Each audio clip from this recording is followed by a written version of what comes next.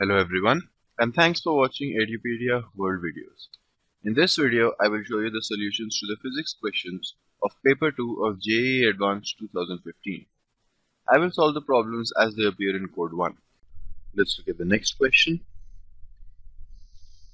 This is a question on radioactivity and we are given that the activity and rate of change of activity are defined as activity A is equal to minus dn by dt which actually is equal to minus of n naught e to the power minus t by tau.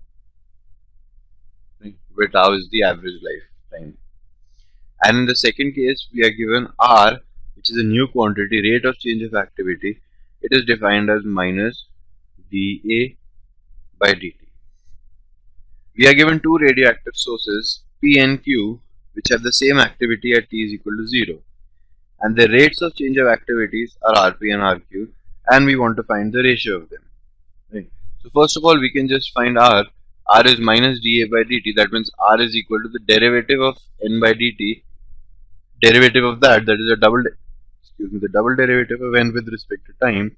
So r will come out to be n naught e to the power minus t by tau into minus 1 by tau.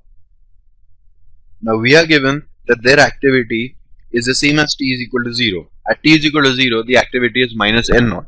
So n naught is the same for both of them and we want the ratio of r at t is equal to 2 tau. So for one of them, the average lifetime is tau, the other one, the average lifetime is 2 tau. So the equation will be rp by rq is equal to minus n naught. For the first one, it is tau.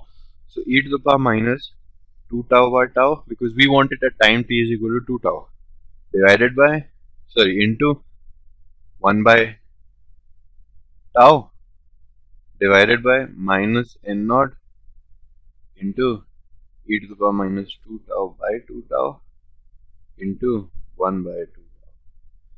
Minus n naught minus n naught cancel. This is simply 1 by 2 it will become 2 and this by this will become if we subtract this it will become this is e to the power minus 2 this is e to the power minus 1 so 1 by e. So we get this is equal to 2 by e. We are given this is equal to n by e. So from that we get small n is equal to 2 thank you